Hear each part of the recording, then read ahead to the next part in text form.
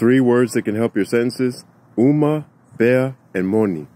Uma by itself means finished or complete, but when you use it after a word, particularly like with nouns and pronouns, it takes the word and then it makes it complete or all.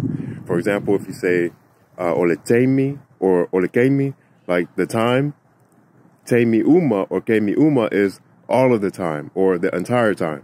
Oleaso is the day. Oleaso uma is the entire day or the, the whole day. Otato is us. Otato uma is all of us. Pea is used after actions to mean continue the action. So fai is to do. Fai pea is continue doing. Usu is to sing. Usu pea is continue to sing. Tamafai is to try. Tamafai pea is continue to try. You see what I'm saying?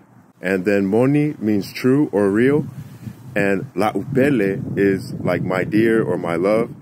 Or la upele moni is my true dear or my true love, my true love. Try using uma, pea, and moni in your Samoan sentences at pacificapages.net.